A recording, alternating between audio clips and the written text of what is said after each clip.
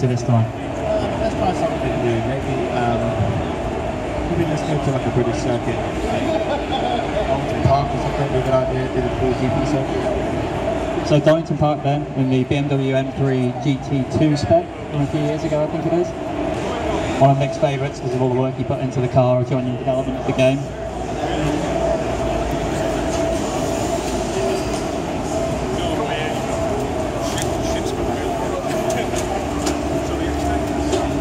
So no pressure now, Nick, now that you said it's your favourite.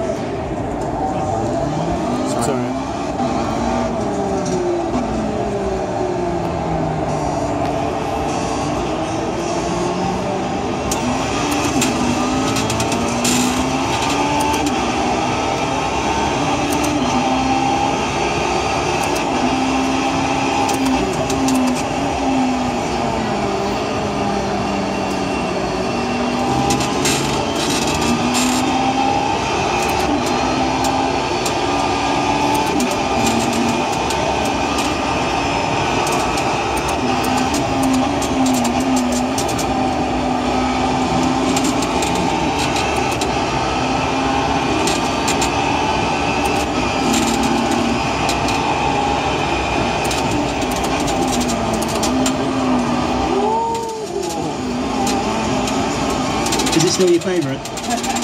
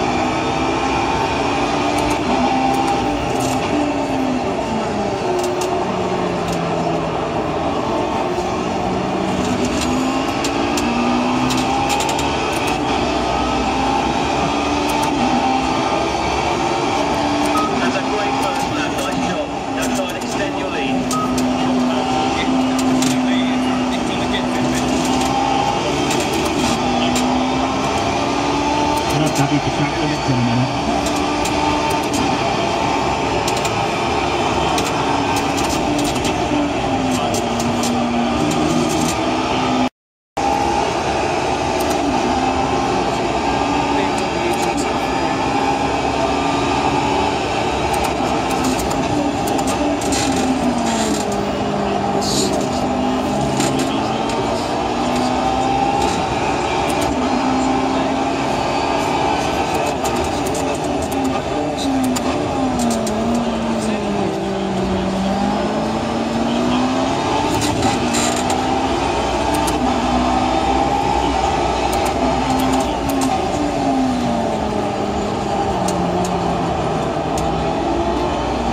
One more time around and then try and keep it on the black bit this time. Except for that bit when you're on the grass. Oh, one mistake. Sorry. You did say it was your favourite.